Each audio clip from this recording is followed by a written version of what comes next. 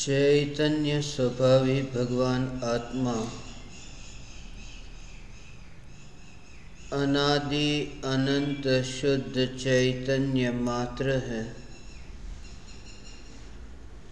ज्ञान मात्र है। मैं शुद्ध चैतन्य मात्र, ज्ञान मात्र भगवान आत्मा हूँ। प्रति समय यह जागृति बनी रहे, इस जागृति का नाम धर्म है। देह की प्रत्येक क्रिया के काल में और विकल्पों के बहते प्रवाह के काल में ज्ञानी को निरंतर यह जागृति रहती है। कि मैं चैतन्य तत्व, इस देह की किसी भी क्रिया में और विकल्पों के बहते प्रवाह में कहीं भी मिला नहीं हूँ, ऐसा शुद्ध चैतन्य तत्व में हूँ। प्रति समय स्वयं की शुद्ध चैतन्य सत्ता का बोध, आत्म जागृति ही धर्म है। चैतन्य तत्व की स्व संवेदन प्रत्यक्ष निर्विकल्प अनुभूति होती है। तब देह होने पर भी देहातीत दशा प्रकट होती है। इतना ही नहीं, विकल्प होने पर भी विकल्पातीत दशा प्रकट होती है।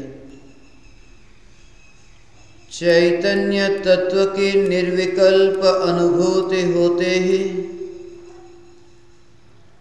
आत्मा में अतीन्द्रिय आनंद का सागर उछलता है। फिर भी ज्ञानी की दृष्टि उस अतीन्द्रिय आनंद के सागर के और भी नहीं जाती और दृष्टि सदा ही चैतन्य तत्पर टिकी रहती है। यह चैतन्य तत्व ही मैं हूँ।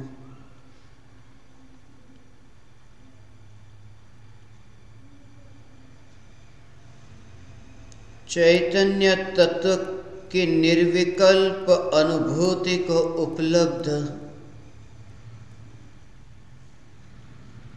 ज्ञानी ही प्रज्वलित ज्ञान दीपक है।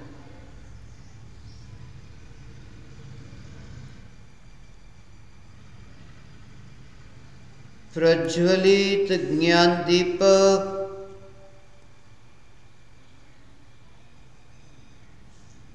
चैतन्य लोक का वासी है।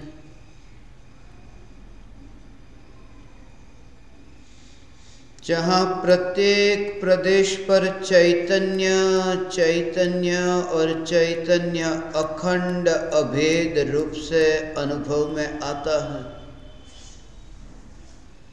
ऐसा वह प्रज्वलित ज्ञान दीपक है।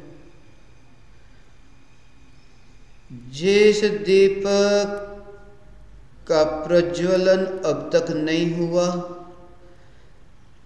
ऐसे दीपकों के लिए इस प्रज्वलित ज्ञान दीपक ने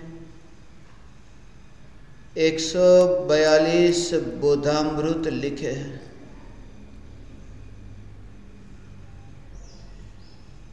ये अमृत है और अमृत का तुम पान करना, अमृत को सिर्फ़ सुनना मत।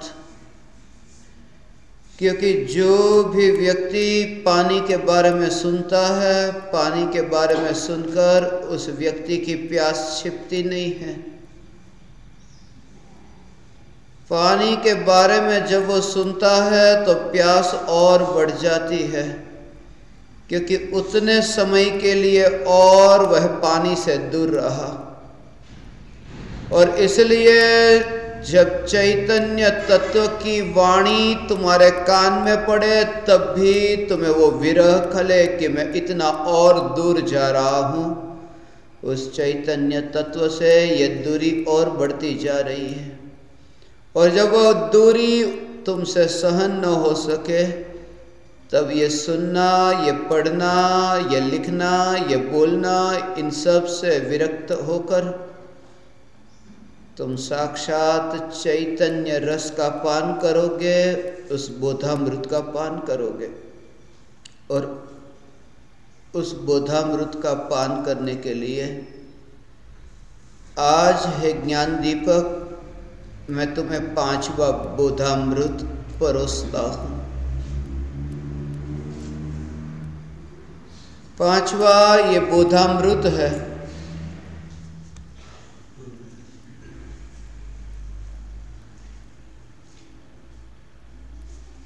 जो तुम्हें अब यहाँ पर ही नहीं, आज ही नहीं, अनंत काल तक तुम्हें उपयोगी होगा, ऐसा ये बोधामृत है। ये सहज धारा प्रवाह से जो विकल्प आत्मा में उत्पन्न होते थे। और इसलिए मैंने इसके क्रम को भी कोई कोई कोई भी प्रकार से बदलने की चेष्टा नहीं की। उस दिन जैसे लिखने का प्रवाह चला था और उसी प्रवाह में कुछ भी फेर बदल किए बिना ही ये पांचवा बोध उस समय विकल्प में आया था। अब गुरुदेव यहाँ नहीं है। ऐसा जानने वाला ज्ञान सदैव हाजिर है। ज्ञान स्वभावी न्यायक का आश्रय लेकर गुरुदेव के विरह का विस्मरण हो जाएगा। ये प्रयोग होगा, ये तुम्हारी साधना होगी और ये अनंत काल तक तुम इस बोध को प्रयोग में ऐसे अपनाओगे। भाव बहुत सूक्ष्म है। अब गुरुदेव यहाँ हाजिर नहीं है। ऐसा जानने वाला ज्ञान सदैव हाजिर है। ज्ञान स्वभावी न्यायक का आश्रय लेकर गुरुदेव के विरह का विस्मरण हो जाएगा। अब गुरुदेव यहाँ हाजिर नहीं है, ऐसा जानने वाला ज्ञान सदैव हाजिर है। ज्ञान स्वाभाविक न्यायक का आश्रय लेकर गुरुदेव के विरह का विस्मरण हो जाएगा।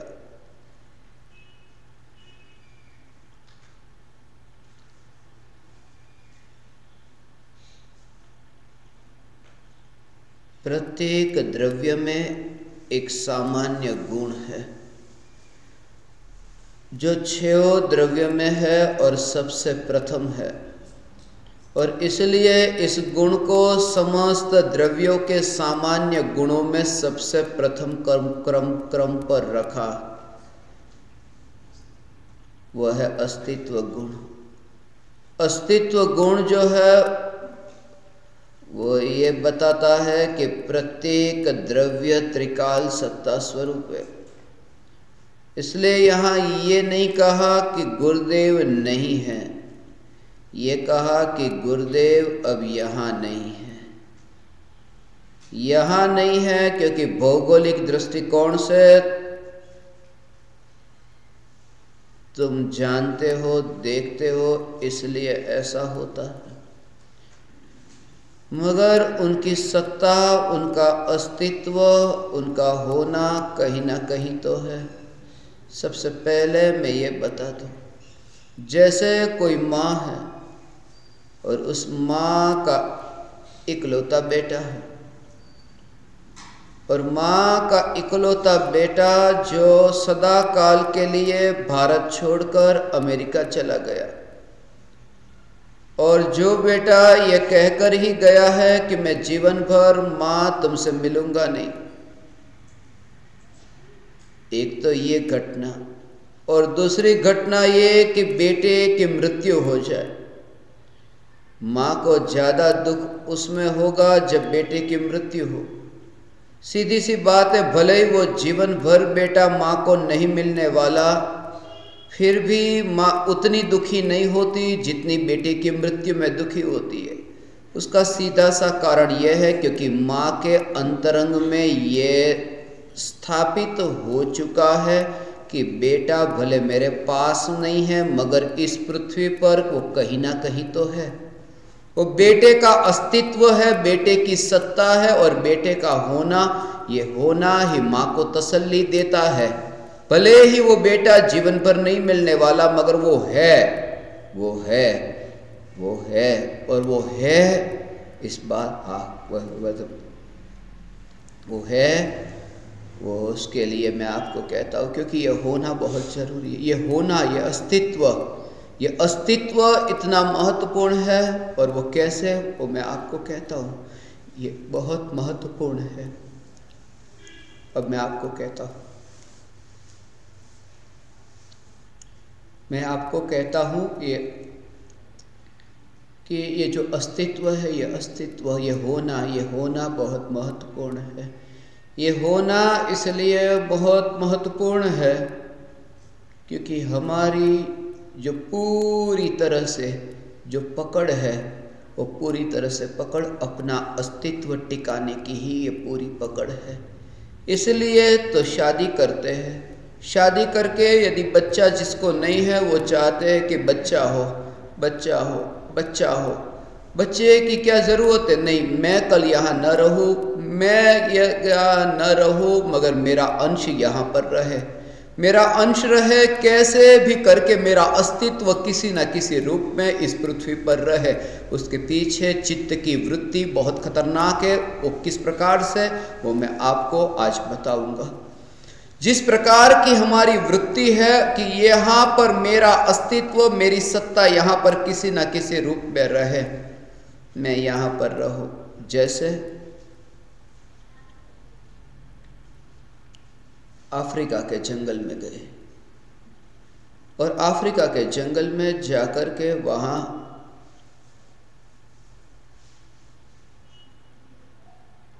अपने पास थोड़ा धन था, संपत्ति। जैसे मैं कहता हूँ रुवांडा का जो नेशनल कोऑर्डिनेटर जो मुझे गोली मारने के लिए आया था, लूटने के लिए, आज वो नेशनल ऑर्गेनाइज़र है। और जब यहाँ पर सिर पर उसने बंदूक रखी थी अब उसने कहा कि ये दे दो, ये दे दो, ये दे दो। तो उसे पर्स दिया, मोबाइल फ़ोन दे दिया, और भी जो बैग था वो बैग दे दिया। कोई भी व्यक्ति दे देगा। या तुम्हें मार डालेंगे, थोड़ी सी भी यदि तुम्हें जान प्यारी है तो ये सब दे दो। उसके पीछे क्या भाव है? भाव यही है कि जान बची सो लाखों पाए। वो भाव यह है कि खुद तो बच गए, खुद तो बच गए। खुद तो बच गए, भले वो जो गया, वो गया। लोक में भी, लोक में भी ऐसा ही कहते हैं कि भले कोई चोर, लुटेरा आया, लुट करके ले गया, धन तो कल भी आ जाएगा, मगर तुम तो बच गए। तुम्हारा अस्तित्व तो तुम्हारा तो होना तो बच गया, भले धन गया तो गया। इसलिए मैं सदा कहता हूँ कि वो घोड़ा तो चोरी हो गया, मगर मैं घोड़े पर नहीं बैठा था, इसलिए मैं तो टिक करके रहा, मैं तो बच गया। मेरा अस्तित्व तो रहा, वो घोड़ा गया तो भले गया, चोरी हो गया तब मैं घोड़े पर नहीं था।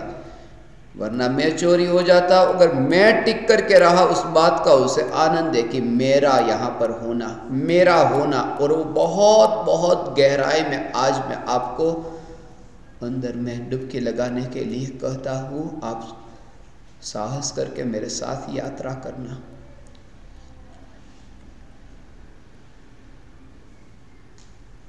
तुम पूरी तरह से ये चाहते हो कि मेरा अस्तित्व किसी न किसी रूप में यहाँ पर रहे। मैं यहाँ पर टिक करके रहूँ, सब लुट जाए, सब लुट जाए तो लुट जाए, मगर मैं टिक करके रहूँ। वही तो है, वही तो है। बाथरूम में तुम नहाने के लिए गए, कपड़े बिल्कुल नहीं पहने और भूकंप आ गया। तुम कपड़े पहनने को भी नहीं रहते, तुम भागते हो। क्यों? फिर वो इज़्ज़त गई, कुछ भी लोग देखेंगे, विचार भी नहीं आता, भागो भागो भागो, क्यों? कैसे भी करके मैं अपने को बचा लूँ। कपड़े नहीं है तो भी चलेगा, मैं अपने को बचा लूँ, मैं बच जाऊँ। अपना अस्तित्व टिक करके रहे, मेरा अस्तित्व में मिटाना नहीं चाहता। ये अस्तित्व के बारे में बहुत गहरा, ये चित्त की वृत्ति का जो स्वरूप है और आत्मा की पर्याय में ये अपना अस्तित्व, मैं हूँ, मैं मैं कैसे भी करके हूँ। और इसलिए तो जब भी कोई लूटने के लिए आता है, सब कुछ दे दिया। ये जड़ वस्तु तो दे दी। जो मैंने कहा कि बेटे की मृत्यु होती है और यमराज का जब आगमन हो तो यमराज कहे कि मैं आ रहा हूँ। तब माँ कहती है कि मेरे बेटे को, मेरे बेटे को मत छीन लो। उसने तो जीवन ही नहीं जिया, मैंने जी लिया, मुझे ही उठा लो। मुझे ही उठा लो और वो जब यमराज आया आया कि तुरंत ही कह दिया, वो एक धारणा है ऐसी, काले कपड़े में वो यमराज आया, भैंसे पर बैठ कर के यमराज आया और आया कि तुरंत ही इशारे से ही कह दिया कि तुम जिसे लेने के लिए आए हो वो ये है। इशारा कर दिया कि तुम इसे लेने के लिए आए हो। पहले तो बहुत कहती थी कि मुझे ले जाओ, मगर जब मृत्यु सामने आती है, तब मैं अब बच जाऊँ वो जो सही समय आया, तब मैं कैसे भी करके मैं बच जाऊँ मैं बच जाऊँ मैं बच जाऊँ, मेरा अस्तित्व टिक करके रहे। बेटा भी गया, संपत्ति भी जाए, मगर मैं बच जाऊँ अब ये जो शरीर है, इस शरीर के जो परमाणु इन शरीर की जो अस्तित्व और सत्ता, इस सत्ता के कारण ही मेरी सत्ता है। फिर तुम अंत में इसको ही बचाना चाहते हो। अब इसमें भी अंत में क्या होता है कि जब दो प्रकार की बीमारी तुम्हारे सामने, ऐसे डॉक्टर आकर के बताए कि तुम्हें दो बीमारी है। और दोनों बीमारी खतरनाक है, मगर उसमें ऐसा होगा कि एक बीमारी ऐसी है कि जिस बीमारी का इलाज कराओगे तो उसका इलाज कराने के लिए आपका पैर काटना पड़ेगा। और दूसरी बीमारी भी उतनी खतरनाक है। मगर पहले कौन सी बीमारी मैं तुम्हारी दूर करूँ? क्योंकि दूसरी बीमारी जो है, उस बीमारी का इलाज करने के लिए तुम्हारा गला काटना पड़ेगा। जब गला काटने की बात आती है और पैर काटने की बात आती है तो अंत में हम यही पसंद करते हैं, इसमें भी पहले तो बेटा और मैं तो बेटा मरे, मैं बच जाऊँ अब इसमें ही क्या टूटे और क्या कटे और क्या बचे तो पैर कट जाए तो ठीक है, मगर मैं बच जाऊँ बहुत से लोगों को आप देखते हो कि कैंसर हुआ, या कहीं ना कहीं उन्हें ऐसा अकस्मात हुआ। अकस्मात में उनके पैर पर ही गाड़ी चल गई। उनका पैर पूरी तरह से काट देते हैं। वो तैयार हो जाता है इसलिए क्योंकि पैर भले कट जाए तो कट जाए, मगर मेरा अस्तित्व मेरा होना यहाँ पर रहे। ये जो मेरा अस्तित्व, ये बहुत खतरनाक, ये वृत्ति जो है, वो जो इस देह में, वो किस प्रकार से ये जो वृत्ति है उस वृत्ति के बारे में मैं आपको भी कहता हूँ। अंत में मैं कैसे भी करके यहाँ पर रहूँ, पैर को काटना हो तो काट दो। बहुत से ऐसे अपंग, विकलांग ऐसे लोगों को देखते हो कि शरीर को खुद ही कहते हैं, डॉक्टर साहब, इस शरीर को अब जल्दी से इस अंग को कब काटते हो? खुद जाता है, खुद दस्तखत करता है, हस्ताक्षर करके खुद वहाँ पर वचन देता है कि मर जाऊँगा तो भी तैयार हूँ, मगर ये पैर को काट दो। क्योंकि ये पैर में जो बीमारी, ये जो पैर में, ये जो जीव जंतु ये कीटाणु, ये जो फैलते फैलते फैलते, ये पूरे शरीर में फैलेंगे। ऐसा होता है। स्तन का कैंसर हो तो भी वहाँ पर उस अंग को पूरी तरह से काट देते हैं। वो तैयार है कि भले ही शरीर का ये अंग कट जाता हो, मगर मैं पूरी तरह से यहाँ पर बच जाऊँ। मैं कैसे भी करके बच जाऊँ? मैं कैसे बच जाऊँ? मेरा अस्तित्व कैसे भी करके यहाँ पर रहे? मेरा अस्तित्व यहाँ पर टिक करके रहे। अज्ञानता मिथ्यात्व जहाँ तक है, वहाँ ये वृत्ति रहेगी कि मैं इस देह के अस्तित्व के कारण ही मेरा अस्तित्व है। देह का अस्तित्व मिटा कि मेरा अस्तित्व मिटा। मुझे घटना अभी स्मरण में आ रही है। एक बूढ़ी थी। उस बूढ़ी महिला की बीमारी को देख करके मुझे बहुत दया आई। मैं उनके घर पे ही था। मैंने उनको कहा, अस्सी पचासी साल की कुछ उम्र थी। मैंने उनको कहा, दादी माँ, बहुत दर्द हो रहा है, बहुत पीड़ा हो रही है। उन्होंने कहा हाँ बहुत पीड़ा हो रही है, सहन नहीं हो पा रही। बहुत पीड़ा हो रही है, सहन नहीं हो पा रही है, मगर बेटा चिंता मत करो। थोड़े दिन का ही ये खेल है, थोड़े दिन के बाद में तो ये सब दुख जाएगा। थोड़े दिन का ही तो खेल है। तब मैंने उनसे कहा, क्या थोड़े दिन के बाद में आपका मोक्ष होने वाला है?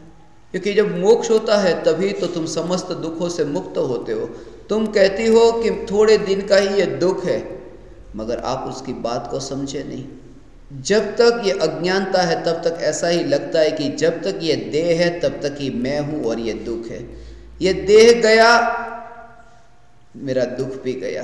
क्योंकि मैं यहाँ हूँ, यहाँ पर ही जब तक मैं हूँ, तब तक दुख है। मैं यहाँ नहीं हूँ, बस दुख भी गया।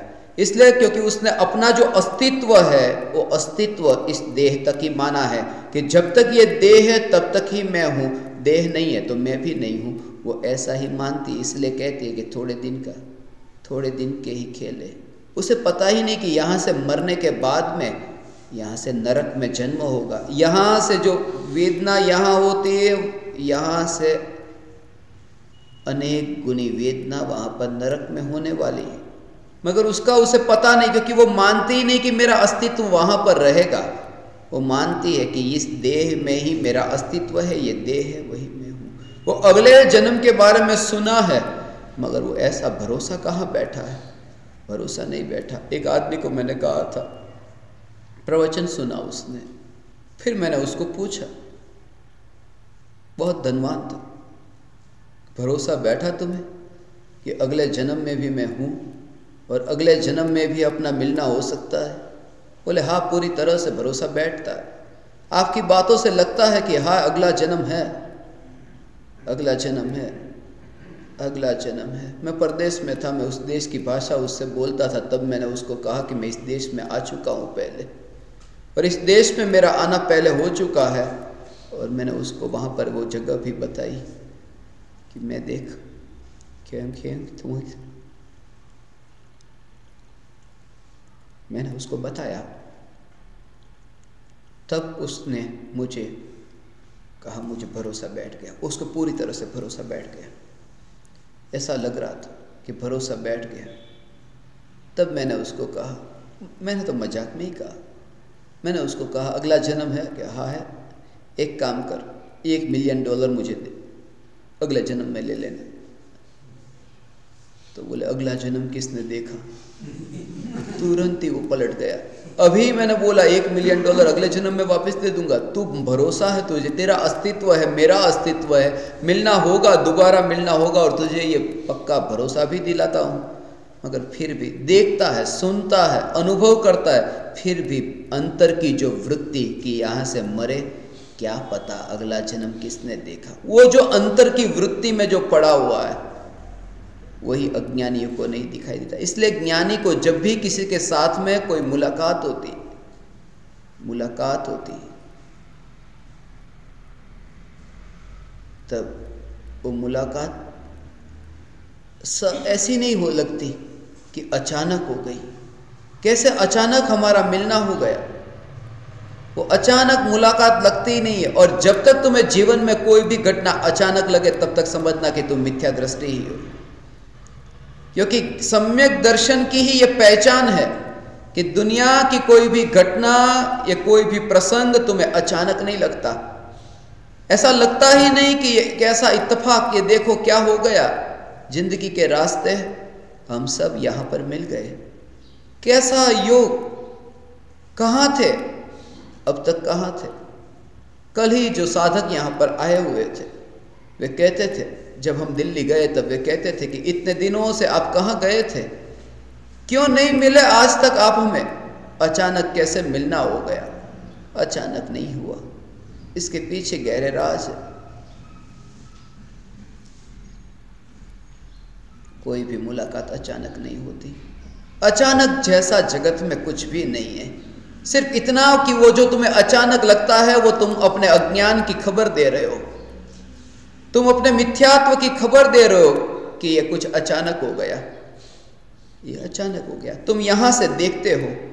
इसलिए सामने कोई दिखाई नहीं देता कि एक रास्ता मुड़ करके कोई यहाँ पर तुम्हें मिलने के लिए आ रहा है, तुम्हें दिखाई नहीं देता। इसलिए तुम्हें लगता है कि वो अचानक आ गया। मगर जो पेड़ की टोच पर जाकर के और अंतिम टहनी पर जाकर के जो देखता है, उसे दिखाई देता है कि वो आदमी आ रहा है। वो घर से निकला, वो दिखाई दे रहा है उसको। और पहले मोड़ में वो मुड़ा, दूसरे मोड़ पर मुड़ा, तीसरे मोड़ पर मुड़ा, और वो यहाँ पहुँचा। उसके लिए अचानक है ही नहीं कि वो अचानक यहाँ पहुँचा। मगर जो ज़मीन पर बैठ करके देखता है, उसके लिए ऐसा है कि ये आदमी अचानक आ गया। ज्ञान योग के लिए कुछ भी इस जगत में अचानक नहीं है। जो भी है, जो भी है, वो सब निश्चित है, और वो श्रद्धा में टंकोत्कीर्ण हो चुका है। इसलिए ज्ञानी के लिए कुछ भी इस जगत में अचानक नहीं है। इसलिए आपकी और ये मेरी मुलाकात और आपका आपस में सबका मिलना, ये अचानक नहीं इसके पीछे भी बहुत कारण है और जब उस शिखर पर पहुँच करके तुम देखोगे तो इस जगत में कुछ भी अचानक नहीं लगता। उस परम शिखर पर पहुँच करके देखो, उस परम शिखर की अनुभूति के पश्चात इस जगत की कोई भी घटना अचानक नहीं लगती। सिर्फ़ इतना कि मैंने उसे देखा नहीं, मैंने उसे जाना नहीं, इसलिए मुझे अचानक लगता है, बाकी उसका तो क्रम आ ही रहा था। वो क्रम से ही मेरे नज़दीक वो घटना आ ही रही थी।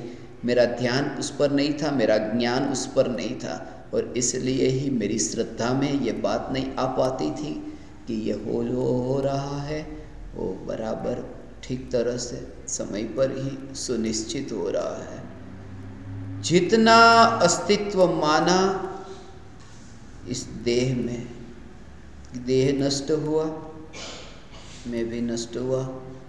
अज्ञानी आँख बंद होने के बाद में अगला जीवन मानता ही नहीं। वो अस्तित्व मानता ही नहीं, इसलिए तो उसे गुरु का विरह ऐसे खलता है इसलिए यहाँ पर ये कहा, अब गुरुदेव यहाँ नहीं है। विरह पड़ा गुरुदेव का। गुरुदेव का विरह पड़ा।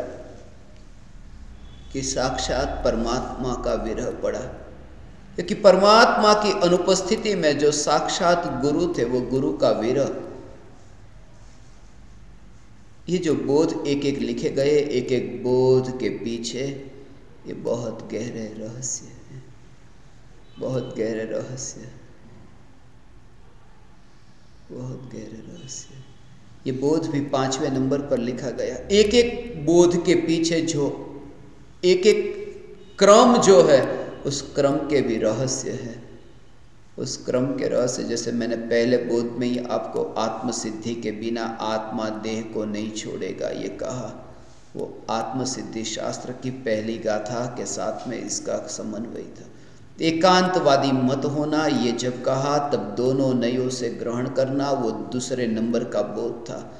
तीसरे नंबर पर कहा, जीवन साथी के अतिरिक्त किसी के सामने काया का प्रदर्शन नहीं करना। वो जो काया तीसरे नंबर पर आई, क्योंकि मन, वचन और काया काया को हम तीसरे नंबर पर लेते हैं, वो काया का तीसरे नंबर पर आना हुआ। और और और वो तीसरे तीसरे, क्योंकि तू पत्नी है तो पति दूसरा। और तीसरे को काया मत दिखाना। तू पति है तो पत्नी दूसरी। और तीसरे को काया मत दिखाना। इसलिए वो तीसरे नंबर पर आया। चौथे नंबर पर जो बोध आया था कि गुरुदेव के अलावा किसी को मन की बात मत करना, क्योंकि गुरुदेव का तो दीपक है। और दीपक का डी है और डी चौथे नंबर पर आता है और इसलिए बस तो गुरुदेव के अलावा किसी को ये अपने मन की बात मत करना। पाँचवें नंबर पर जो आज ये बोध है कि अब गुरुदेव यहाँ नहीं है। कब गुरुदेव यहाँ नहीं है? गुरुदेव तो साक्षात परमात्मा का ही अवतरण है। साक्षात परमात्मा का अवतरण है। जैसे कहते हैं कि चौथा काल गया और पांचवा काल शुरू हुआ। ये कलयुग शुरू हुआ। गुरुदेव अब यहाँ नहीं है, ये कलयुग शुरू हुआ। ये पंचम काल चालू हुआ। जब तुम्हें ऐसा एहसास होगा, तब तुम्हारे लिए ये बोध बहुत उपयोगी होगा। होगा कि गुरुदेव अब यहाँ, गुरुदेव!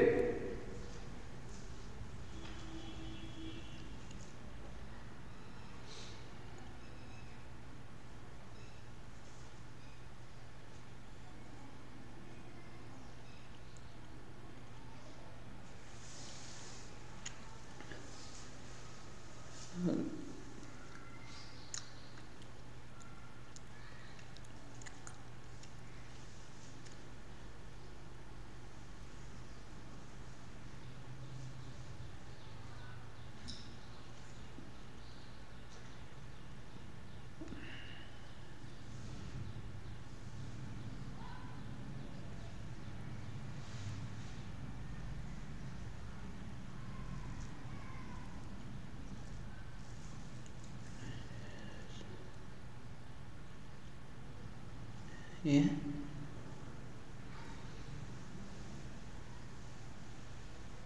गुरुदेव।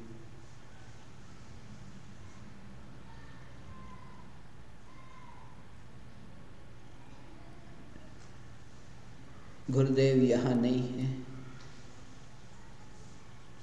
ऐसा जानने वाला ज्ञान है। ये गुरुदेव का, मेरे गुरुदेव का ये वचन था। मेरे गुरुदेव का ये वचन था, वो वचन ही मैंने आप तक पहुँचाया है, ये मेरा वचन नहीं। मेरे गुरुदेव सदा ही ये कहा करते थे कि जब भी तुम्हें समाचार मिले कि गुरुदेव अब यहाँ नहीं रहे, तब तुम अग्नि संस्कार की वो विधि करने के लिए यहाँ आने से पहले तुम अपने स्वरूप में डुबकी लगा लेना। जमीन की यात्रा करने से पहले तो उस सागर की यात्रा कर लेना उस चैतन्य सागर के अंदर जाकर डुबकी लगा लेना और जमीन की यात्रा बाद में करना और वे सदा ये कहते थे बस थी गई પછી तो પૂરું પણ નથી થયું એ वो कहते थे वो मुझसे कहते थे आज का जो ये बोध है तुम्हें अनंत काल तक उपयोगी कैसे सिद्ध होगा, वो मैं तुम्हें कहता हूँ। खून के आँसू तुम रोओगे, यदि तुमने अभी ये अनुभूति को उपलब्ध नहीं हुए, सच कहता हूँ मैं। यदि अनुभव नहीं हुआ तो नहीं हुआ तो तुम जल्दी करते ही नहीं। तुम अभी ही धीरे धीरे धीरे धीरे धीरे।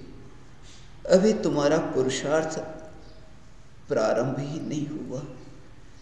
पुरुषार्थ प्रारंभ ही नहीं हुआ। तुम्हें अब तक ये बंधन बंधन लगा ही नहीं। तुम्हें लगता ही नहीं कि मैंने ये सिद्ध परमात्मा को ये सिद्ध भगवान को मैंने मांस के ऊपर कहा रख दिया? गुरुदेव की तस्वीर को मैं कीचड़ के ऊपर रखू, तुम मेरा अपमान करोगे। इस प्रकार से कि तुमने गुरुदेव की तस्वीर को कीचड़ के ऊपर रखा। गुरुदेव की तस्वीर को मैं विस्टा के ऊपर रखूँ, तुम्हें ऐसा लगेगा, असली गुरुदेव को मैं नहीं रखता। असली गुरुदेव को मैंने विस्टा पर नहीं रखा, गुरुदेव की तस्वीर को ही मैंने विस्टा पर रखा। गुरुदेव की तस्वीर को ही मैंने विस्टा पर रखा और तुम ऐसा कहते हो कि तुम पागल हो, तुमने गुरुदेव की तस्वीर को विस्टा पर क्यों रखा? ऐसे कीचड़ पर गुरुदेव की तस्वीर को तुमने क्यों रखा?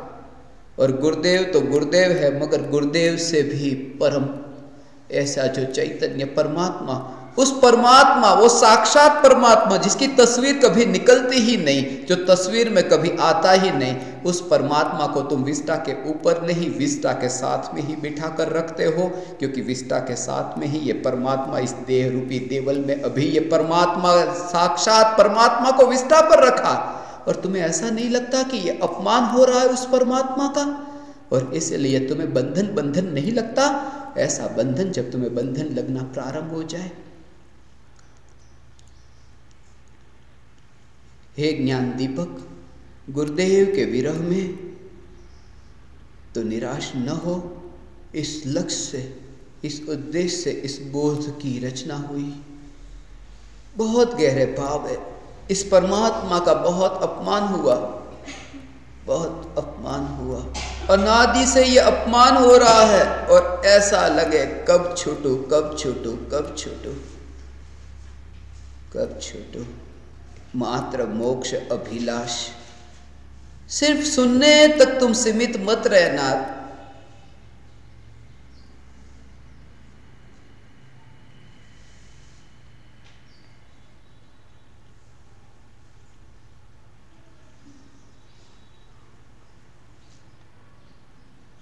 फिर कुछ बोझ ही नहीं रहा।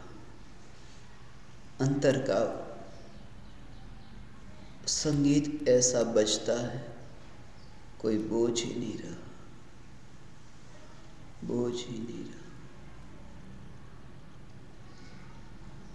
जैसे जैसे संगीत तुम्हारे अंतर में पौधे को संगीत सुनाते हो, वो बाहर का संगीत पौधे को बाहर का संगीत सुनाते हो, पौधे की हालत देखो। पौधा कैसा खिलता है वैज्ञानिकों ने इसके संबंध में बहुत बड़े बड़े प्रयोग किए। वनस्पति। वनस्पति को ही नहीं, तुम पत्थर को भी संगीत सुनाओ तो पत्थर में भी ऐसा होता है। पत्थर की भी ऐसी स्थिति होती है। ये शरीर जो है, ये शरीर एक मिट्टी के अतिरिक्त और कुछ भी नहीं है। दो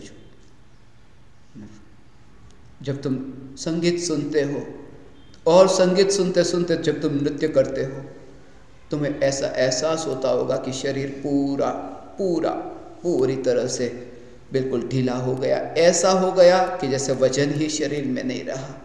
बिल्कुल हल्का हल्का तुम्हें अनुभव होने लगता है।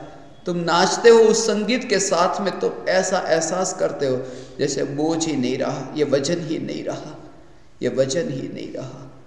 पिरामिड के पत्थर जो है उस समय कोई ऐसी सुविधा नहीं थी। मेरी ये समझ है, मेरा ये ज्ञान है, ऐसा हुआ होना चाहिए। उस समय ये कोई सुविधा नहीं थी, मगर उस समय उस समय भी, उस पत्थरों को भी संगीत सुना सुना सुना सुना करके पत्थर को इतना हल्का कर दिया गया कि वहाँ पर ऊपर लेकर जाया गया। वो संगीत से ही वो पत्थर। आज उसे आप नीचे नहीं उतार सकते। एक पत्थर को उतारना हो, मगर पिरामिड को देखो। रेगिस्तान में वो पिरामिड बने हैं, जहाँ पर कोई सुविधा नहीं। कैसे लेकर जाओ एक पत्थर, दूसरा पत्थर, तीसरा पत्थर? मगर पत्थर जैसा पत्थर भी, पत्थर जैसा पत्थर भी वो संगीत को सुन करके, संगीत के वो टकराव से यदि हल्का होने लगे, और ऐसा वो पत्थर में भी ऐसा रूपांतरण होने लगे तो चैतन्य तत्व का मधुर संगीत जब बजे, अंतर में वो चैतन्य की अनुभूति का संगीत जब बजे, तब ये परमाणु उड़ करके कपूर की तरह प्रकृति में बिखर जाए। उसमें आश्चर्य क्या? और इसलिए केवली भगवान के शरीर के परमाणु ऐसे ही बिखर जाते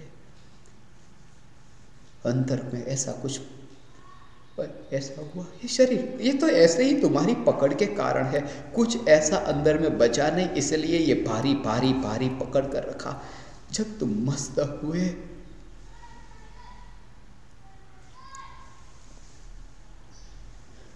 हाँ कौच बची तुम उस स्थिति को तुम समझोगे, तब तुम्हारा, तुम बिल्कुल ढीला छोड़ दो। तो और ऐसा हो? पूरी तरह से। वो पकड़ कितना भी हो, मगर वो गया वो बाधा नहीं पहुंचाता। फिर वो शरीर तुम्हें बाधा नहीं पहुंचाता। अंतर में ऐसा कुछ प्रकट हुआ कि अब कुछ भी बाधा नहीं पहुंचाता।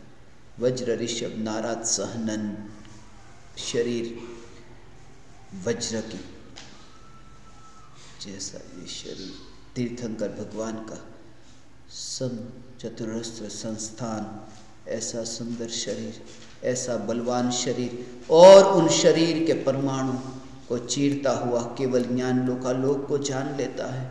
इन परमाणु, क्योंकि अंदर में ऐसा जो कुछ प्रकट हुआ है कि ये परमाणु कुछ न रहे। ये परमाणुओं का आवरण, परमाणुओं का आवरण कुछ भी न रहा। अब तो ऐसी हालत है कि आँख है और आँख के ऊपर यदि ये आवरण ये आवरण आ गया, आँख की पलक का आवरण आ गया कि सामने जो है वह भी नहीं दिखता। इतना आवरण आ गया कि सामने पहाड़ हो तो पहाड़ भी नहीं दिखता।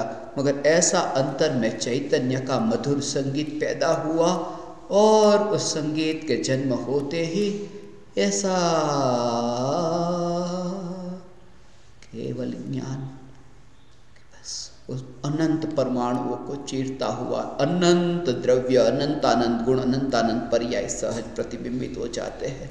ये परमाणु कुछ भी बाधा नहीं पहुंचाते फिर वो ऐसी ही स्थिति है जैसे उतरे हुए चश्मे की स्थिति है બસ એટલા માટે એને આવું કીધું ઉતરેલા ચશ્મા છે બસ પછી ખાલી પડ્યા છે એક નંબરના ચશ્મા છે અને એક સાદા ચશ્મા છે નંબરના ચશ્મા હોય તો એ કાઢી નાખો તો તમને ન દેખાય જેવું દેખાવું જોઈએ એવું તો નહીં જ દેખાય પણ સાદા ચશ્મા હોય કે કોઈ બાઇક ચલાવી રહ્યું છે અને આમ ચશ્માના કાચ ખાલી સાદા તો એ જે સાદા કચ ચશ્માનું જે કાચ છે આમ છે ખાલી પણ એનાથી જોવાનું નથી થતું એ છે એ બાધકે નથી બનતો ને દેખાડતો પણ નથી दोनों काम नहीं होता उस चश्मे के परमाणु से न तो देखने का काम होता है न देखने में बाधा पहुंचती वो सिर्फ है ऐसे ही केवली भगवान को पांच इंद्रियों से वो जानने का काम भी नहीं होता और पाँच इंद्री जानने में बाधा भी नहीं पहुंचाती।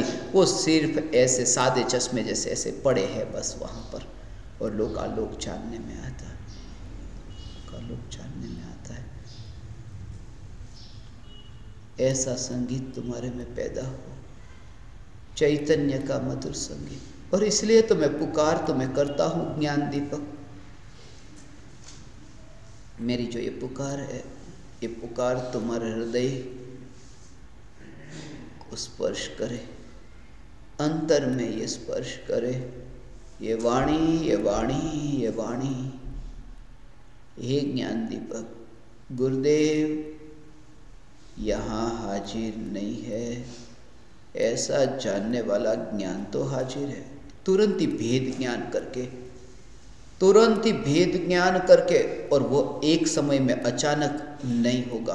पहले से ही मैं तुम्हें अभी से ही वो तैयारी कराता हूँ। इसलिए मैं कहता हूँ, जब भी किसी छोटे बच्चे की मृत्यु हो जाती है, माँ बहुत दुखी होती है, बहुत पीड़ित होती है। अरे, ये क्या हो गया? क्या हो गया?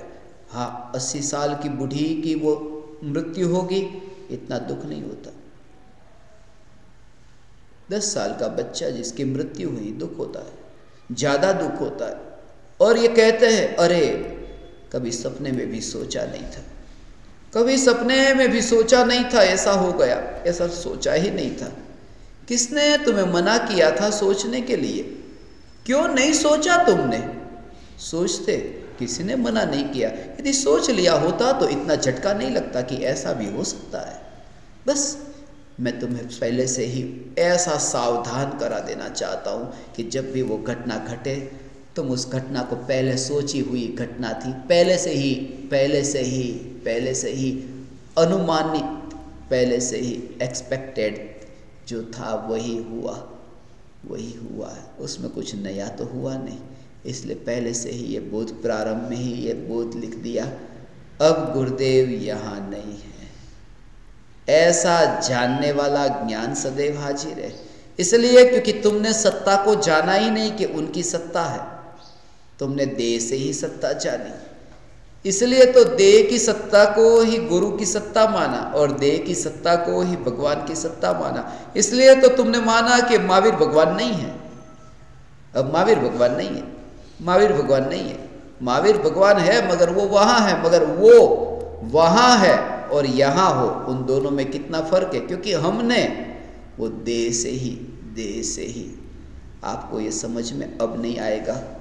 शायद मैं यहाँ नहीं रहूँगा आप भी जब यहाँ नहीं रहेंगे એના થોડા વર્ષો લાગશે એ થોડા વર્ષો લાગશે ત્યારે આ સત્ય બહાર આવશે ऐसा हो सकता है तुमने ये सोचा भी नहीं महावीर भगवान अब शरीर से यहाँ नहीं है मगर महावीर भगवान के साथ में अभी भी मैं महावीर भगवान के साथ में भगवान के साथ में उस आत्मा के साथ में मेरा यहाँ पर वो संबंध हो सकता है। मेरा संबंध महावीर भगवान से मैं यदि रखना चाहूँ तो मैं ऐसा रख सकता हूँ। और वो कैसे हो सकता है, उसके बारे में मैं आपको कहूँ। इसीलिए तो वो कैसे, भले ही तुमने पहले के ज़माने में जैसे कभी सोचा भी नहीं था कि पहले हम फ़ोन पे बात करते। यहाँ पर फ़ोन पे बात करते, यहाँ पर वायर चिपका हुआ और वहाँ पर भी वायर ऐसा वहाँ पर लगाया हुआ है। वायर वायर है। मगर जब पहली बार वायरलेस फ़ोन आया कि पता चला कि मैं यहाँ बोलता हूँ और वहाँ आवाज़ कैसे सुनाई देती है, बीच में कोई वायर नहीं, कुछ भी नहीं। मगर प्रकृति में ऐसा कुछ है, ऐसा कुछ है। उस व्यवस्था को तुम आज नहीं सब, कुछ वर्षों के बाद में लोग मुझे याद करेंगे। इस शब्दों को याद रखेंगे कि ऐसे कैसे व्यक्ति के साथ में फिर तुम्हें मोबाइल की भी ज़रूरत नहीं पड़ेगी। जो चीप की बात आती है कि चीप ही लगाई जाएगी। और तुम ऐसे ही यहाँ पर ही सुन लोगे और वहाँ पर बात करोगे। वो भी तुम, जब जड़ वस्तु से ऐसा दूसरों के साथ में संबंध जोड़ा जा सकता हो तो चेतन का चेतन के साथ में और चेतन की उस अनंत शक्ति के बल पर वो कैसे संबंध नहीं जुड़ सकता और वो संबंध मेरे जुड़ चुके हैं। और वो आपके भी जुड़ेंगे निकट काल में। जितने भी प्रज्वलित ज्ञान दीपक होंगे, उनके ये संबंध जुड़ेंगे। वो कैसे जुड़ेंगे? कुंदकुंदाचार्य देव ने। कुंदकुंदाचार्य देव ने समय सार में ही, प्रारंभ में ही संबंध के बारे में बता दिया। तुम्हारी दृष्टि नहीं कि तुम समझ सको। तुम शब्दों को पढ़ते हो। तुम भाव को नहीं। भाव को नहीं समझते। उन भावों को तुम समझते ही नहीं हो। आज मैं वो भी रहस्य तुम्हारे सामने खोलता हूँ।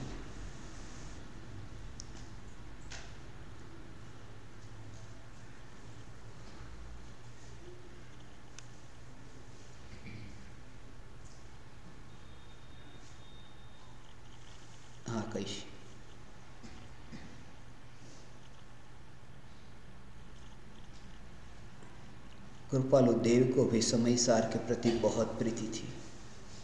समय सार ने परम कृपालु देव का जीवन परिवर्तित किया।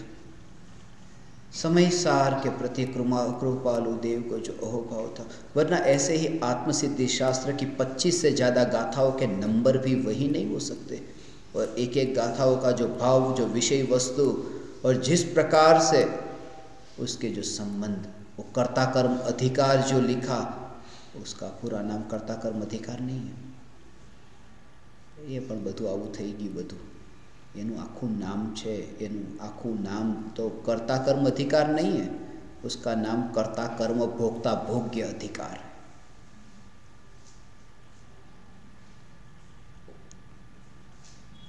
शॉर्ट छोटा कर दिया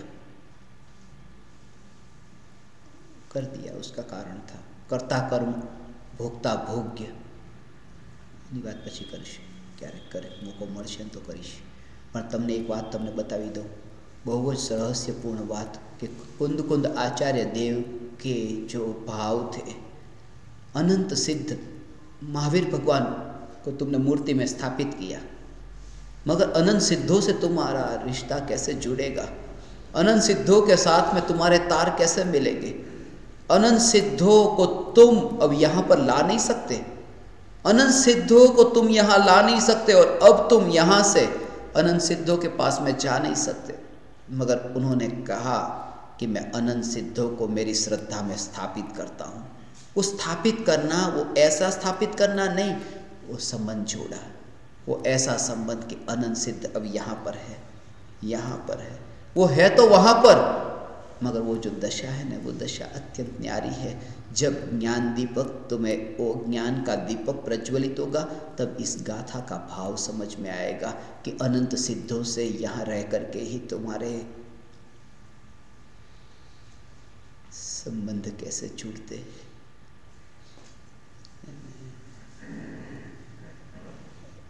रशिया में वो प्रयोग हुआ था। बगीचे तुम कहीं पर भी दूर रहो। तुम कहीं पर भी दूर रहो। व्यक्ति के चले जाने के बाद भी उस व्यक्ति के साथ में तुम्हारा संबंध, काया से संबंध तो छूट गया, मगर तुम्हारा आत्मा से आत्मा का जो संबंध है, वो तब भी कायम रहता है। वो तब भी कायम रहता है। वो उस आत्मा के रूप में वो नहीं होता। वो उस आत्मा के रूप में, वरना वो किसी न किसी रूप में आता है। इसलिए तो पूर्व भव के यदि हो ये क्या है? आज लक्ष्मण, रावण नरक में लड़ाई लड़ते हैं। नरक में लड़ाई लड़ते शरीर तो वो रावण का भी छूट गया। शरीर, है हाँ एक कौच अपना शरीर तो वो रावण का छूट गया। शरीर तो लक्ष्मण का भी छूट गया। शरीर तो सीता का भी छूट गया। सीता स्वर्ग में है। सीता स्वर्ग में है और पूर्व भोग के ऋणानुबंध यदि हो तो तीसरे नरक तक वो स्वर्ग का देव वहाँ नरक तक जा सकता है। और पूर्व भोग के ऐसे ऋणानुबंध हो तो वहाँ पर जाकर के उपदेश दे सकता है कि ये लड़ाई मत करो तुम। अब समझाते हैं सीता कि तुम लड़ाई मत करो, तुम झगड़ो मत, तुम झगड़ो मत। सीता रावण को उपदेश देते हैं कि तुम लड़ाई मत करो। रावण को उपदेश देते हैं और रावण को कहते हैं ये संसार छोड़ने योग्य है और भविष्य में रावण सीता जी को कहेंगे जब तीर्थंकर होंगे और सीता जी गणधर होंगे सीता ये संसार छोड़ने योग्य है गुरु रया छद मस्त पण विनय करे भगवान उसका भाव बहुत गहरा है हैं हाँ कहूँ છું એ બધું આજે કહીશ तो माँ पूर्व भोग के यदि कोई ऋणानुबंध हो तो सीता का शरीर तो छूट गया वो वाला, मगर आत्मा का आत्मा के साथ में अभी जो बाकी है संबंध, वो किसी ना किसी रूप में तुम्हारे सामने आएगा। वो देव बनकर के भी तुम्हारे सामने आएगा। वो कहीं ना कहीं, इसलिए तो ये संबंध के बारे में तुम जानते ही नहीं हो।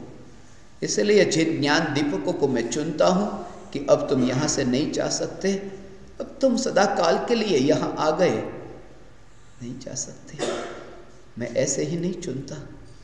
जब मेरे ज्ञान में ही आता है, मेरा रोम रोम जब ऐसा पुलकित होता है, तब पुकार निकलती है कि बस। मैं तुमसे ये कहता हूँ, ज्ञान दीपक, तुमसे ये कहता हूँ, इस बात को तुम अंतर के भाव से ग्रहण करना जब तक अपना अस्तित्व तुमने माना है। तब तक तुम किस प्रकार से जीवन जीते हो? और जब अस्तित्व माना ही नहीं, वो जीवन तुम्हारा कैसा है? तुमने देह से ही अस्तित्व माना, और इसलिए देह से ही तुमने जीवन माना। और इसलिए जितना तुम्हारा अस्तित्व तुम मानते हो, तैयारी भी तुम इतनी ही करते हो। तुम्हारा विचार, तुम्हारा चिंतन, वो उतना ही होता है। और उस वृत्ति को मैं थोड़ा और प्रकाशित करूँ तो आपको और ख्याल में आएगा कि ये वृत्ति कैसे किस रूप में पड़ी हुई है।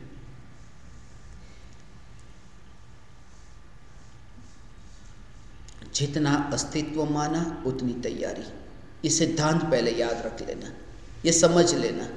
जितना अस्तित्व माना है, जीव तैयारी भी उतनी ही करता है। उससे अधिक तैयारी करने की कोई गुंजाइश नहीं, इसलिए क्योंकि अस्तित्व ही नहीं। और इसलिए जैसे बच्चा पैदा हुआ, बच्चा पैदा हुआ, उसके बाद में बड़ा हुआ, अठारह बीस साल का हुआ, पच्चीस साल का हुआ, जवान होता गया। माँ बाप विचार कर रहे हैं, परेशान हैं। कि अब बेटा शादी कर ले।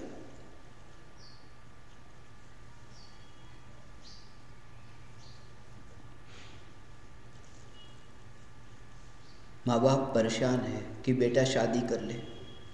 बेटा शादी करता नहीं। माँ बाप ये कहकर के बेटे को कहते हैं कि तू शादी कर ले क्योंकि आज तो हम दोनों हैं। कल तेरा ध्यान कौन रखेगा? शादी कर बुढ़ापे में तेरा ध्यान कौन रखेगा? अभी तो हम है बुढ़ापे में। माने माँ बाप को अच्छी तरह पता है।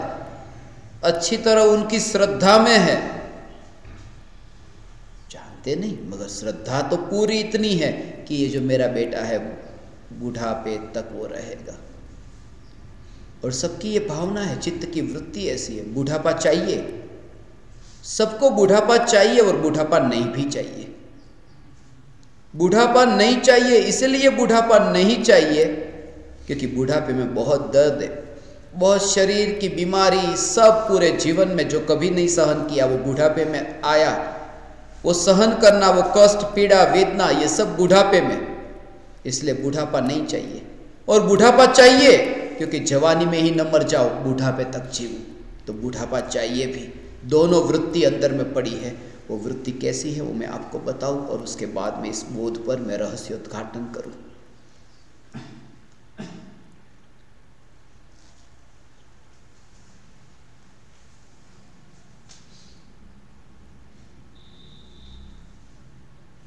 जितना अस्तित्व माना, उतनी तैयारी की।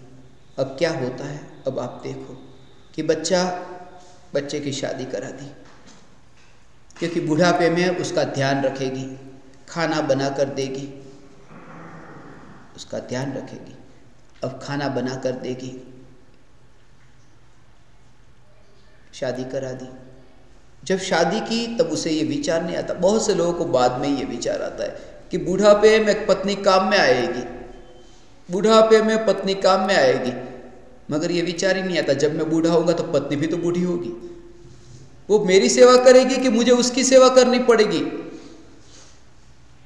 इसलिए वो शादी के बाद में अक्कल आई। शादी की तब ये विचार आया। तब फिर ऐसा विचार आया कि एक काम करते, बच्चे पैदा करते। यदि बच्चे पैदा होंगे तो बच्चे हमारा ध्यान रखेंगे।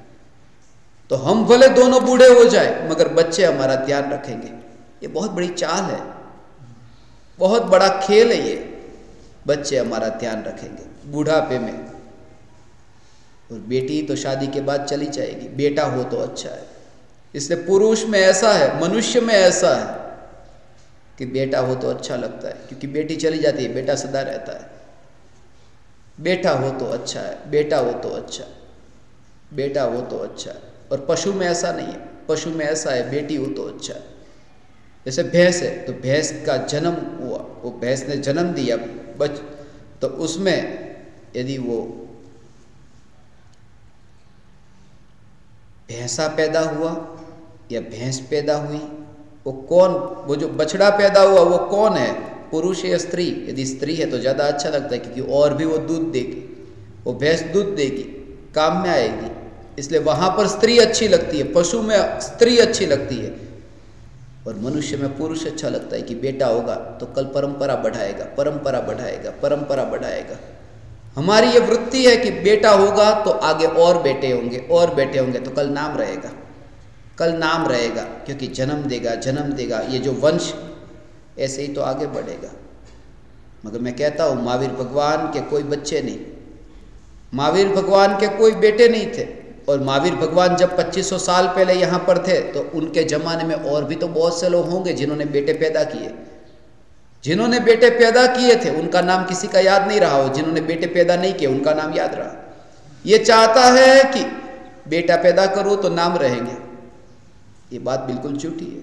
और वो नहीं रहने वाले, इसका ये कारण है कि मैं आपको पूछूँ कि आपके पिता का पिता का पिता का पिता का पिता का पिता कौन? आपको पता नहीं। आपको सातवीं पीढ़ी के नाम पर याद नहीं है। तो आपके बेटे के बेटे के बेटे के बेटे आपका नाम याद रखेंगे, इस बात की क्या गारंटी?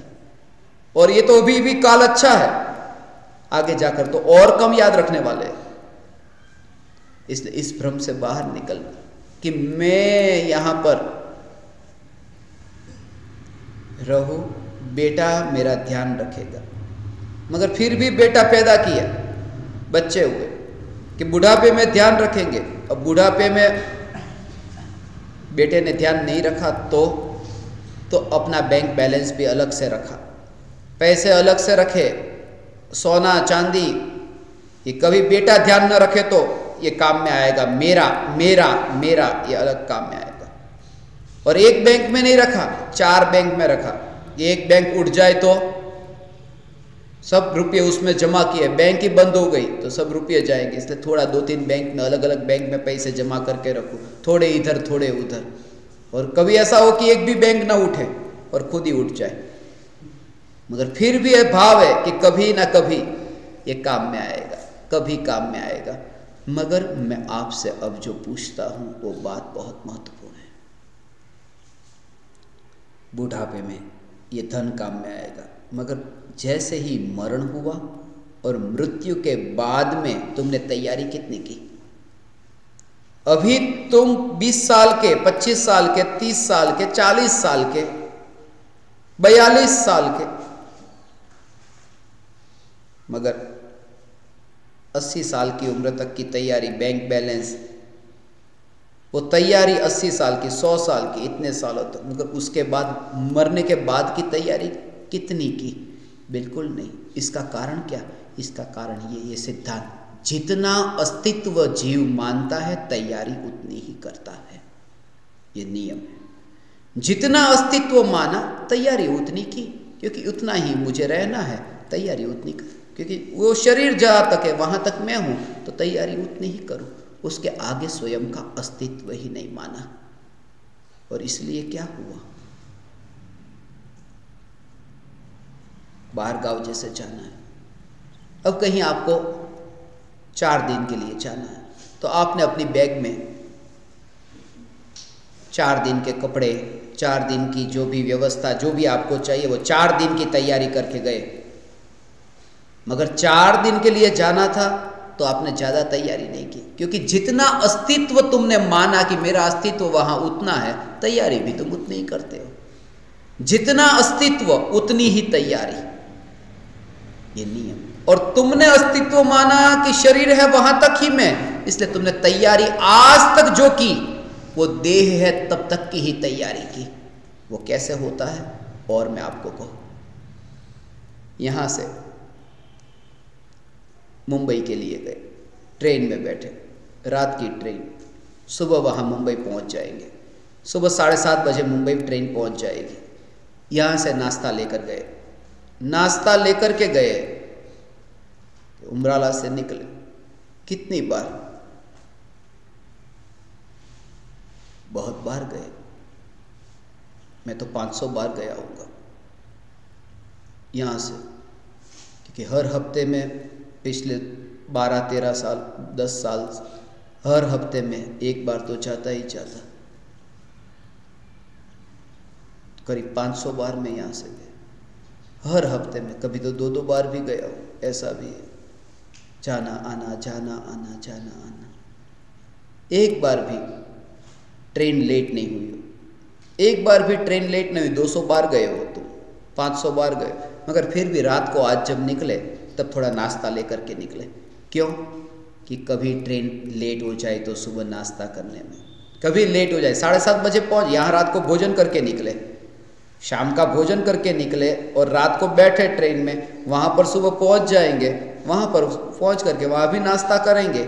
मगर लेट हो जाए तो लेट हो जाए तो तो नाश्ता लेकर के निकलते, तैयारी करके निकलते, क्योंकि है मेरा अस्तित्व। ट्रेन में अस्तित्व रह सकता है मेरा। ट्रेन में लेट हो जाए तो ट्रेन में मैं तो रहूँगा तो नाश्ता लेकर के निकलता हूँ। अस्तित्व माना तो तैयारी करता है। एक रात की ट्रेन की यात्रा के बाद में वो नाश्ता लेकर निकलता है तो इस जन्म से अगले जन्म की यात्रा के लिए जब निकलता है, तब यहाँ से कितना वो यहाँ से क्या लेकर निकला कि जिससे अपना जीवन आनंद से भरपूर रहे।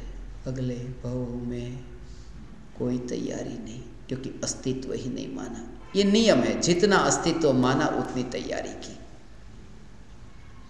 तो जैसे मैंने आपको अभी कहा कि चार दिन रहे तो चार दिन की तैयारी करते हो। चार दिन रहते तो चार दिन की तैयारी, आठ दिन तो आठ दिन की तैयारी। और मैं रहने वाला हूँ अनंत काल तक। अब अनंत काल तक मेरा अस्तित्व है तो तैयारी भी उसमें ही करनी पड़ेगी। चार दिन का रहना तो चार दिन की तैयारी। तो अनंत काल तक मैं रहने वाला हूँ तो तैयारी भी अनंत में ही करनी पड़ेगी। और इसलिए इसलिए जिन ज्ञानियों ने अनंत ज्ञान पाया, अनंत ज्ञान, अनंत दर्शन, अनंत सुख, अनंत वीर्य, ये अनंत चतुष्टय जो है, वो अनंत काल तक रहने वाला हूँ, उसकी तैयारी हो गई। अनंत काल तक सत्ता है मेरी तो उसकी तैयारी भी अनंत में की उन्होंने, और अनंत वैभव पाया। अब अनंत काल की तैयारी। तुम्हें बुद्धि से अभी थोड़ा कम समझ में आएगा जब वो श्रद्धा से समझो अंतर में ज्ञान ને પૂછી જો તો પછી પહેલાં તો પહેલાં આખું એને આમ ઉભા ઊભી રાખાય એમ કોર્ટની અંદર અદાલતમાં એમ એને કોર્ટમાં અદાલતમાં એને ઊભી રાખ લઈ આવવું અદાલતની અંદર કોર્ટની અંદર લાવ અને એને ઊભી રાખીને એને પૂછ કે એ કોના તરફ છે એને પૂછ કોને? શ્રદ્ધાને. શ્રદ્ધા જે છે ને, એ શ્રદ્ધાને તું લાવ અદાલતમાં. કઈ અદાલતમાં? જ્ઞાનની અદાલતમાં. જ્ઞાનની અદાલતમાં એ શ્રદ્ધાને ઊભી રાખો. જ્ઞાનની અદાલતમાં શ્રદ્ધાને ઊભી રાખો ને, એને પૂછો કે તું કોના તરફ છે? આ દેહ તરફ છે કે પરમાત્મા તરફ છે?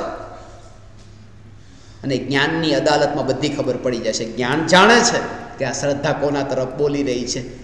એ શરીર તરફ બોલી રહી છે કે આત્મા તરફ બોલી રહી છે એ બધી જ્ઞાનને ખબર પડે છે કારણ કે જ્ઞાનની અદાલતમાં કોઈનું ખોટું ન ચાલે ज्ञान की अदालत में श्रद्धा को खड़ी करके पूछो कि वो किसकी ओर है જ્ઞાનમાં અને શ્રદ્ધામાં આમ છૂટા પરમાણુ આમ પડતા હોય ને એવું લાગે કે હમણાં જ નીકળી જશે આ બધા વિખેર થઈને કપૂરની જેમ ઉડી જશે અને હું બે જતો રહ્યો સીધા લઈ બા એવી રીતે લાગે આમ અને તમને જ્યારે આવું લાગે ને ત્યારે ભગવાન તમે આ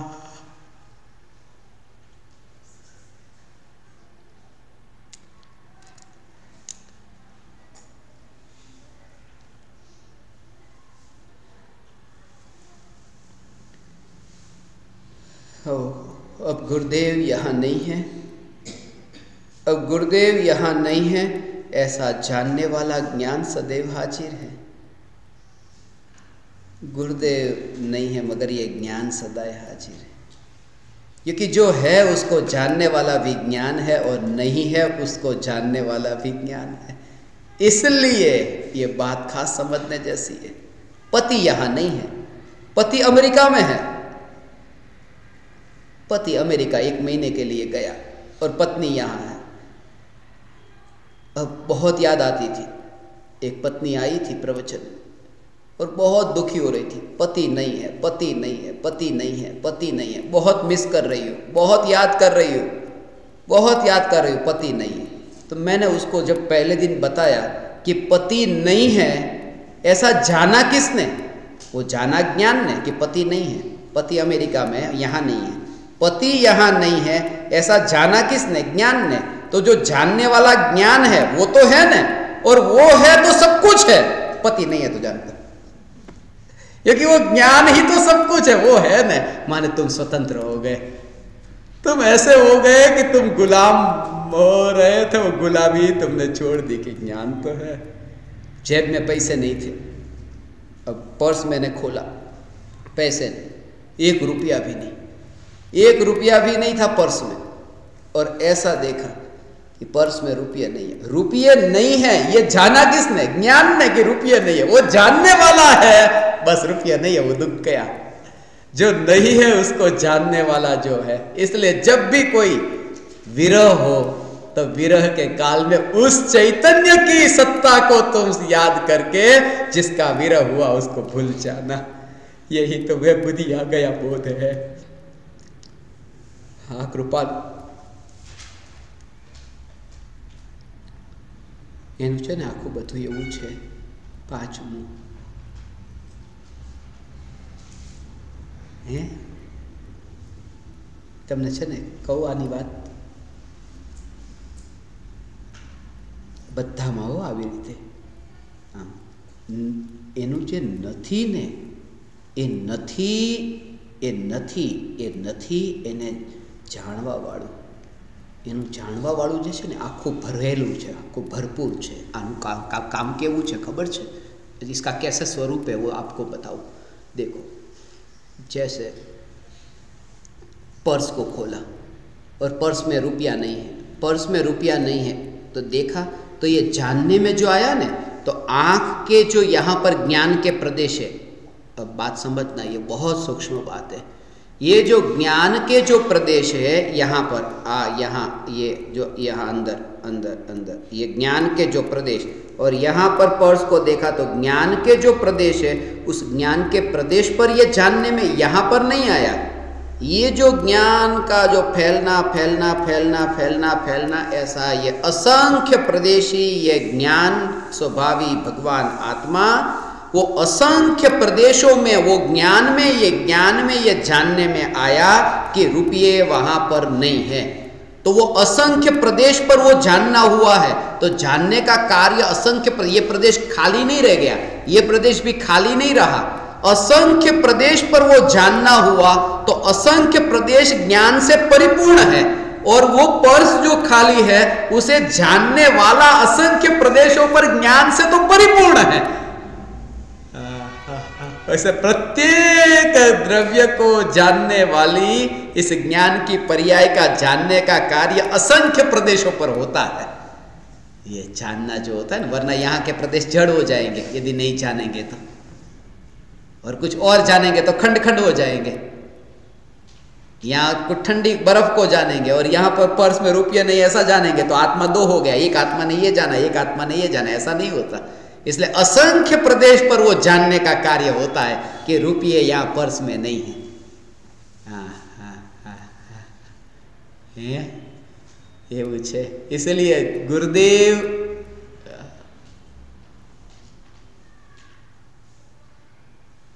अब गुरुदेव यहाँ नहीं है। ऐसा जानने वाला ज्ञान सदैव हाजिर है।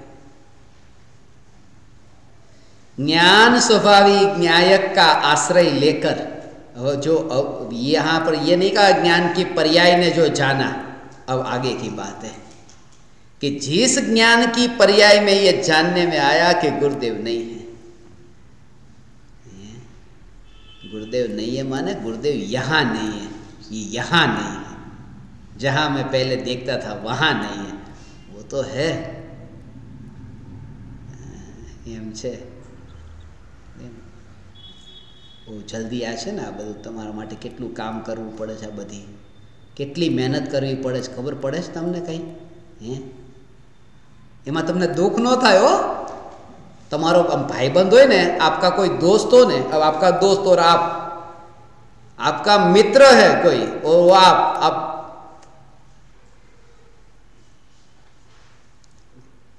એમ. और दोनों को बस में चढ़ना है। बहुत भीड़ है बस में। अब आपका मित्र फटाफट भाग करके वो चला गया अंदर बस में। तो आप रोते हो? अरे, मेरा मित्र चला गया। आनंद होता है कि वो जगह रोक के बैठा होगा। तो आपके लिए जगह रोक कर गुर्दे बैठे हैं। तुम दुखी मत हो ना अंदर में आनंद में रहना कि वो मेरे लिए जगह रोक करके बैठे हैं। आनंद में होना। हा हा हा हा।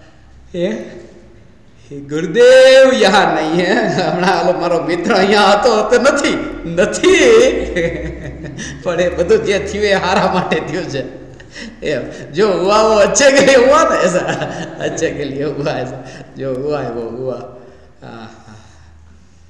अब गुरुदेव यहाँ नहीं है ऐसा जानने वाला ज्ञान अब वो जिस पर्याय में ये जानने में आया उस ज्ञान की पर्याय में यह जानने में आया कि गुरुदेव नहीं है। उस ज्ञान की पर्याय, वो मैं नहीं। जिस ज्ञान की पर्याय ने यह जाना कि गुरुदेव नहीं है, वो मैं नहीं, क्योंकि वो ज्ञान की पर्याय में तो अब जाना ना ऐसा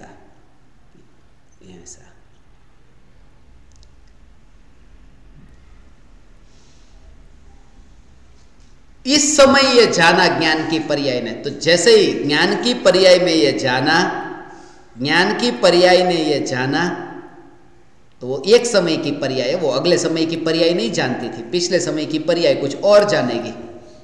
तो उस एक समय की ज्ञान की पर्याय, वो मैं नहीं, क्योंकि मैं एक समय के लिए नहीं, मैं तो अनादि अनंत हूँ। इसलिए गुरुदेव यहाँ नहीं है, ऐसा जानने वाला ज्ञान तो हाजिर है।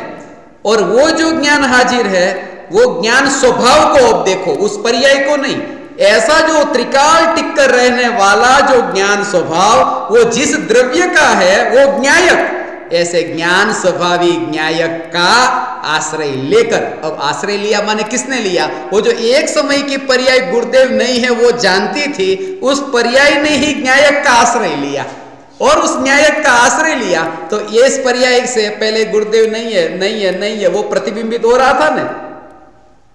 तो अब वो गुरुदेव नहीं है अब वो न्यायक प्रतिबिंबित हो रहा है तो न्यायक प्रतिबिंबित हो रहा है तो गुरुदेव है या नहीं है जानने वाला कौन वो तो यहां पर है बात खत्म हो गई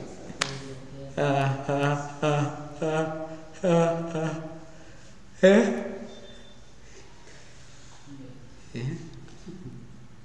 બાકી રાખજે ને પછી એનું છે આવું બધું એક बात और कहता हूँ ये उसमें क्या बताया न्यायक का आश्रय लेकर गुरुदेव के विरह का विस्मरण हो जाएगा ये विस्मरण जो है ना इसके पीछे बहुत आश्रय न्यायक का लेना और ये विस्मरण हो जाएगा કોણ કોને યાદ રાખે છે પછી કોઈ કોઈને યાદ નથી રાખતું નવું નવું હોય તો યાદ રાખે મરનારની ચિતા ઉપર ચાહનાર કોઈ ચડતું નથી. કહે છે, બધા હું મરીશ, પણ પાછળ કોઈ મરતું નથી. સળગતી આગને જોઈને આગમાં કોઈ પડતું નથી. આગમાં તો શું પડે, રાખને કોઈ અડતું નથી. ગયા. પણ એ તો ભૂલી તો જવાના જ છે, બધા જ ભૂલી જવાના છે. પણ ન્યાયકનો આશ્રય લઈને ભૂલે તો આદર કર્યો. અને બીજો પાછો જગતમાં બીજા બધા ભોગોમાં પડી જાય ને ભૂલી જાય તો અનાદર કર્યો એમ એટલે न्यायक का आशय विस्मरण हो जाए वो स्मरण विस्मरण जो होता है ना ये स्मरण विस्मरण ये शब्द है ना वो इसलिए कि न्यायक का जब तुम आश्रय लेते हो ना तो न्यायक का आश्रय तो याद याद फिर गुरुदेव याद नहीं आते याद नहीं आते ऐसा नहीं याद नाम की चीज ही तुम्हारे पास नहीं रहती वो क्यों अब ये वो बात बताता हूँ जो न्यायक का आश्रय लेता है तो न्यायक का आश्रय लेता है तो गुरुदेव याद नहीं आते, ऐसा नहीं। दुनिया की कोई वस्तु याद नहीं आती। दुनिया की कोई वस्तु याद आती, ऐसा नहीं।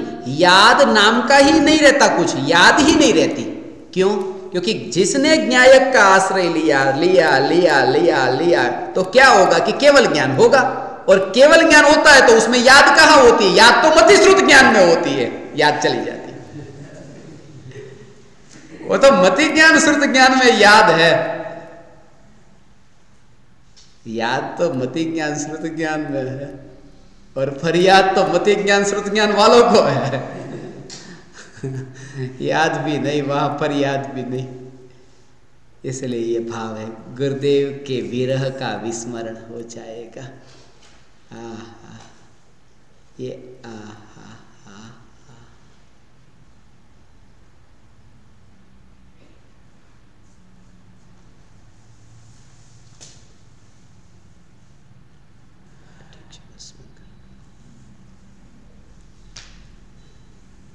अब गुरुदेव यहाँ नहीं है। ऐसा जानने वाला ज्ञान सदैव हाजिर है। ज्ञान स्वभावी न्यायक का आश्रय लेकर गुरुदेव के विरह का विस्मरण हो जाएगा। आप समझ परमात्माओं ने अत्यंत विनयवान पूर्वक एकाग्रता पूर्वक सुना। और मुझे सत्संग करने का अवसर दिया। मेरा इतना समय सत्संग में रहा। आप समस्त परमात्माओं को मैं मेरे हृदय के अंतकरण से प्रणाम करता हूँ। मेरे प्रणाम स्वीकार। कर